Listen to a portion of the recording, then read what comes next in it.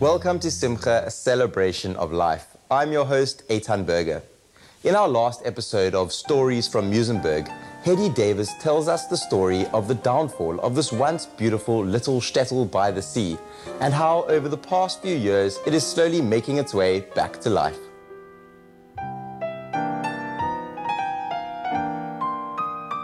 The first pavilion was a wooden pavilion. It, it looks very romantic and very delightful in the photographs that one sees, very charming, but it really couldn't accommodate more than about a couple of hundred people at a time having tea, a couple of hundred people at a time having uh, changing their clothes. And so it was decided to build the great concrete pavilion that stood until 1968, 69. Um, it was very much loved in its time.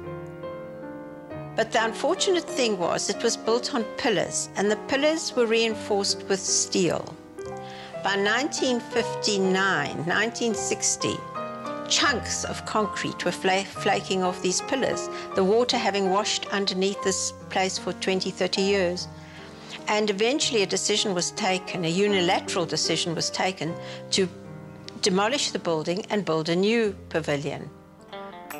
What they didn't realize was that it was going to take twice as long to demolish this concrete structure than they ever thought. And so that summer, there was nothing but hammering and banging going on. It was the summer of 69. And the Muizenbergers, once it was gone, decided that was the end of Muizenberg. Uh, suddenly, the, the place was not the same.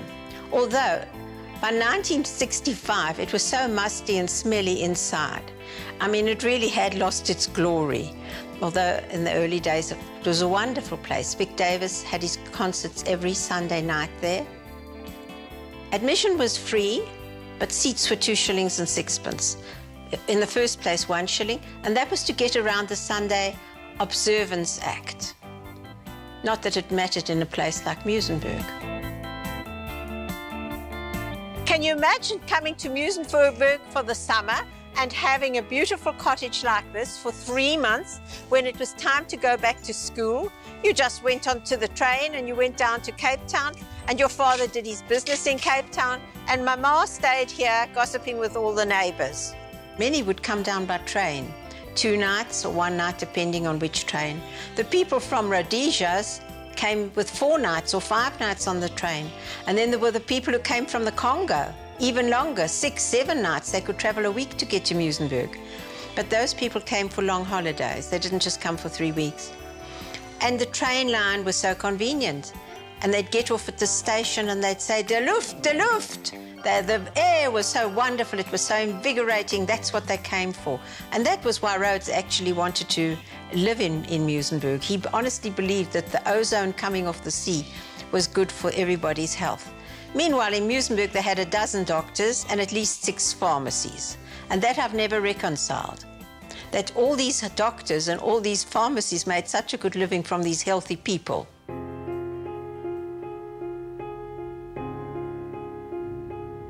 Sixty-one, sixty-two was when people started to leave Muizenberg. And that is the beginning of the, the, of the end as far as Muizenberg's concerned. 1976, the trouble of, with the Soweto that was the nail in the coffin for Muizenberg. More and more people left Muizenberg. And the houses that were vacated were, were sometimes not even let. They were just boarded up. And then people didn't even know who owned that building. And the rates and taxes accumulated. The municipality didn't collect rates and taxes there. The place was falling into disrepute the, the people who came from other countries found a lovely place to settle, poor, poor people, and they made a, a good life for themselves there. The Nigerian drug lords settled in Muizenberg. It was a very bad time, 1980 to 90. There were several murders, there were several very bad crimes, and so that was when Muizenberg's reputation went straight downhill. We're walking along Killarney, and we're coming to the little wooden house where Amy Schneider lived. She had a fish shop round the corner, and on Sundays she would sell bagels that she baked at her home, bagels and bulka. And the rumor was that she had money. And the rumor was that she had so much money that she had a bag of gold hidden in her wardrobe. And unfortunately, what men do, they murder for money. And she, tiny little woman, made her life that way. That was the first murder that actually hit the community. It was just after Sharpeville. It was at a time when South Africa was in turmoil and people were leaving South Africa anyway. And there were so many Jews in Muizenberg who thought maybe they should move somewhere safer. So that was the beginning of, of really the whole change of the, of the place. Instead of Jews were coming to Muizenberg, Jews were now starting to leave Muizenberg.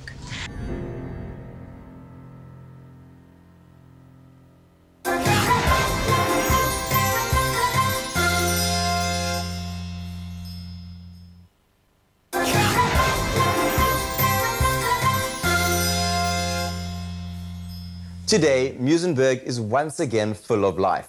Buildings are being restored to their former glory or modernized, and young families and artists are reviving this once thriving, sleepy village by the sea.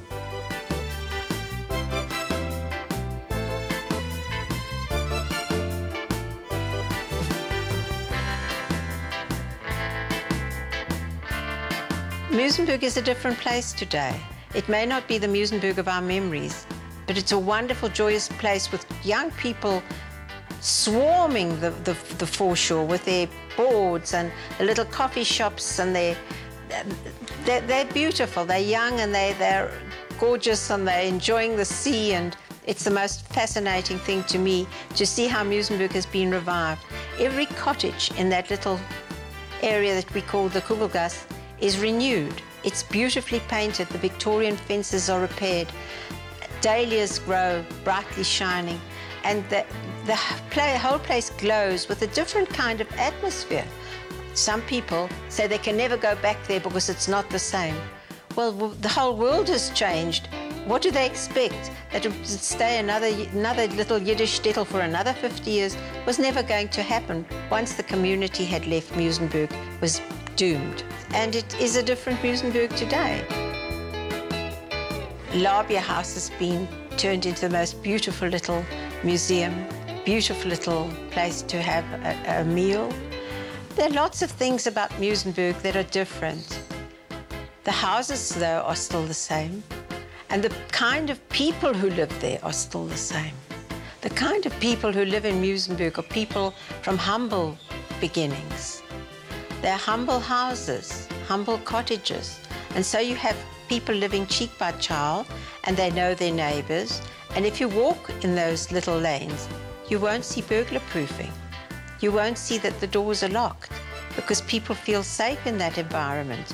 That's how it was in the 40s when those little war widows came to Muizenberg with their children.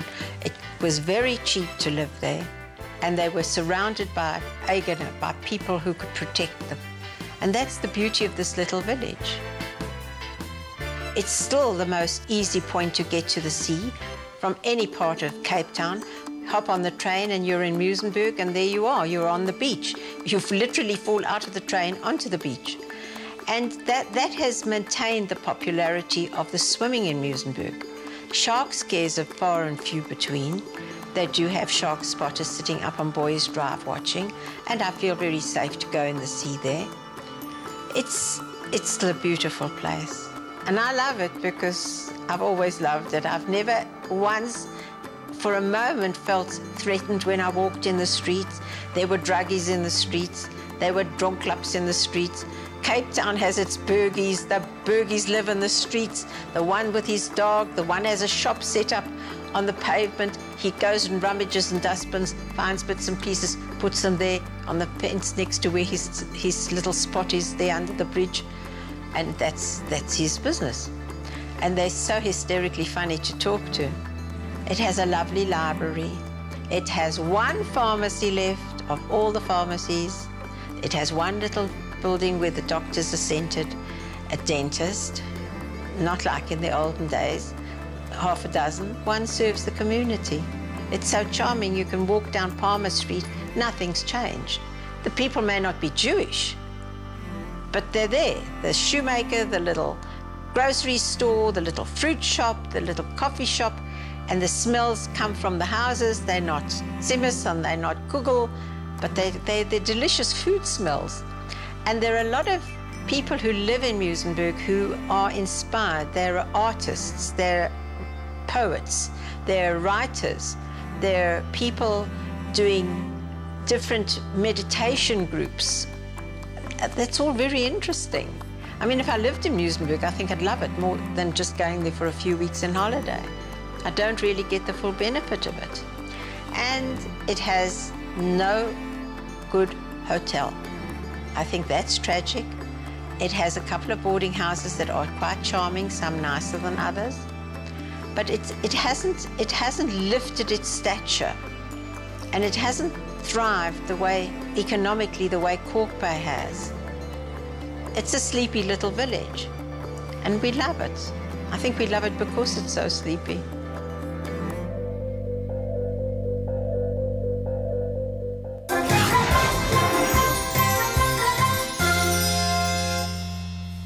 One of the pleasures of Shabbat is to prepare special dishes that enhance the Shabbat experience. In the days of the Talmud, one of the foods that was considered delightful and used for this purpose was fish. Today, Rebbetzin Debbie Sweezer shows us how to prepare and cook a Moroccan-style fish dish.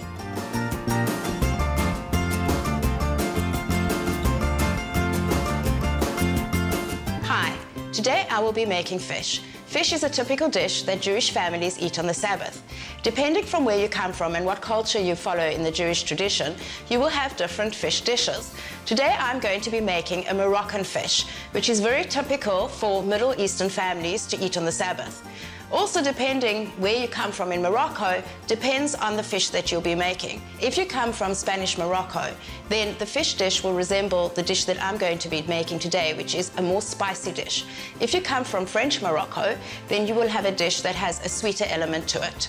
So the reason why we eat fish on Shabbat is the Talmud, which is a book which consists of discussions, debates, conversations, um, commentaries on Jewish law that the rabbis have put together over the years, mentions that on Shabbat, which is the holiest day the, in the Jewish calendar, that we should eat something that is very, very special. During the time of the Talmud, fish was a very, very special dish to eat. Included in that is also meat and wine. There's a beautiful story that is mentioned in the Talmud about a man by the name of Yosef. And Yosef was not a very wealthy man, but he ensured that every single week he bought the best of everything for Shabbat. And so one day he went to the market to buy some fish for Shabbat. Also living in this village was a very, very wealthy man. And some fortune tellers had told the wealthy man that Yosef, the poor man in the village, was going to accumulate all of his money and all of his wealth and his possessions. So the wealthy man was very, very afraid of this. So he decided to take all his possessions and sell them. And he sold them, and with the money that he received, he bought a beautiful, beautiful precious stone. But still, he was scared that Joseph would acquire the stone. So he put the stone underneath his hat on his head in order to ensure that it would be with him all the time. And what happens? He goes out to the market and a huge wind comes along and blows the hat off his head.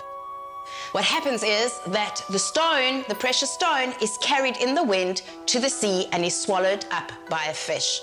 Off Yosef goes to the market to buy his fish, and the fisherman comes to him with this beautiful, big, fat, rich, beautiful looking fish, the best of all the fish, and offers it to Yosef for Shabbat, knowing that Yosef always buys the best of the best. So Yosef purchases this fish. He goes home, he cleans the fish, he cuts open the fish to gut it, and what does he find inside? The beautiful precious stone that this man had acquired. And what is the moral of the story? The moral of the story is, is if, if you're going to buy the best for Shabbat and ensure that everything that you have for Shabbat is the absolute best of the best, then Hashem will, in fact, reward you. So I'm going to get started with this Moroccan fish dish that I'm going to make, which is also known as kharif fish, which is chili fish. So the ingredients that we're going to use are garlic, coriander, salt, chilies. My chilies have been dried, but you can also use fresh chilies, paprika, cumin, fresh coriander, and fish. And the fish that I'm using is angel fish. It is best to use a fish that is very, very firm and that will not fall apart in the cooking. So, dependent on your taste, is how much garlic and chili you're going to eat. Some people actually cut the chili completely open and take the seeds out inside. We don't do this in our family because we all love hot chili. So, what we do is we just take the chili and we slice it down the middle so that it actually will open up in the cooking and therefore the seeds will be used. The beauty about this recipe is that it's very, very quick and easy. Literally all the ingredients go into one pot and cook and simmer for a very, very short time. This dish can also be served either hot or it can be served at room temperature.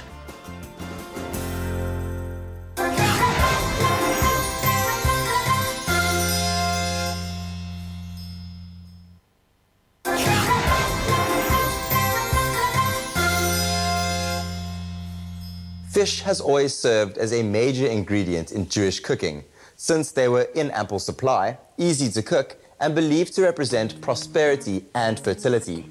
We rejoin Debbie Sweezer as she continues with one of her favorite Shabbat delights.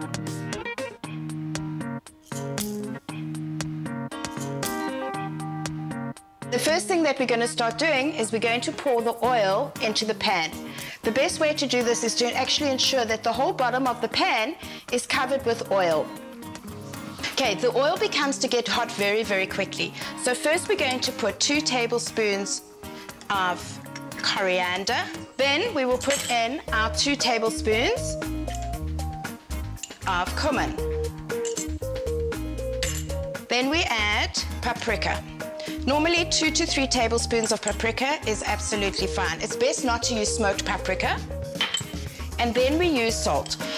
When it comes to salt, you have to actually use salt to taste.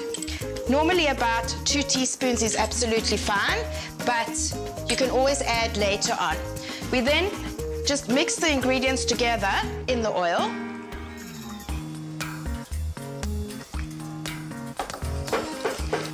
and it's a pity you can't smell the spices through the camera. These spices are very rich Mediterranean spices. After that, we will add our chilies. Again, it is to taste, depending on how many chilies that you can tolerate. And then we put in our garlic. Now the garlic we've actually chopped up very big. What happens is that when it's busy cooking in the oil, it actually becomes very, very soft. And it's better to use bigger chunks of garlic because if you use smaller chunks of garlic, it can become quite bitter. Again, garlic is to taste. You just allow this to infuse for a little bit in the oil, the garlic and the chili a bit into the oil. What's very interesting as well about why we eat fish on Shabbat is that if you take the gematria, which is the numerical value of every single letter in the Hebrew alphabet, Dag is equal to 4 and Gimel is equal to 3. And that makes up to 7, which is that Shabbat is on the seventh day. Once this has infused, you can add your fish fillets You just need to watch that the oil doesn't um, splash over so you can turn it down a bit. It doesn't matter if you place the fish on top of each other.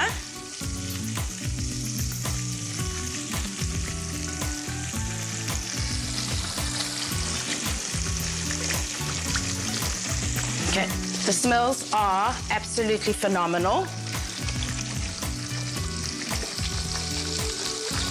You then take a jug of water. Cold water from the tap is absolutely fine. And you pour it in so that it covers the majority of the fish.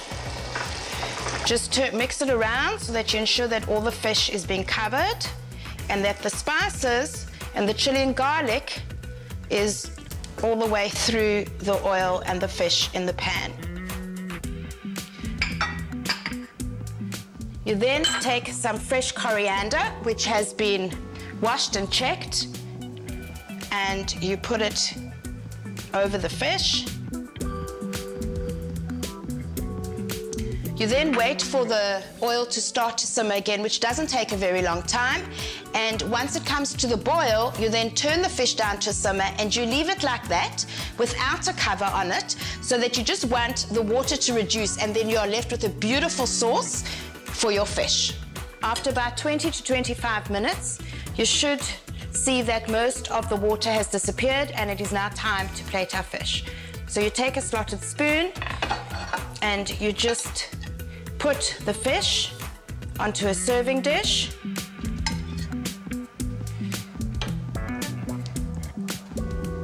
It's best to take a dish that is actually big enough to hold all your fillets because when you're serving it, you don't really want to put them on top of one another.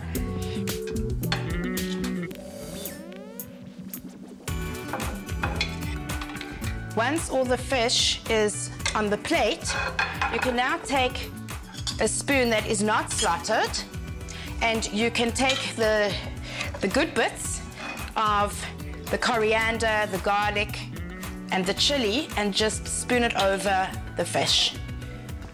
Okay, you just finish off the dish with a sprinkle of fresh coriander.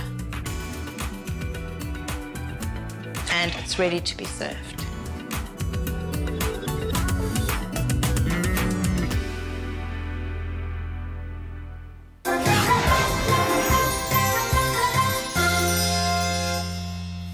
Today's teachings from the Mishnah or oral law, contained within Pirkei Avot, the ethics of our fathers, comes from chapter 2, verse 16, where Rabbi Tarfon uses the word employer as a metaphor for God. He would say,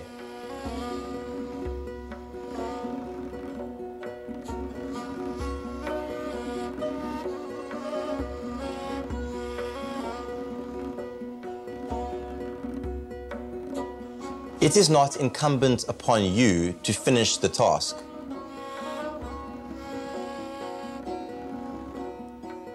But neither are you free to absolve yourself from it.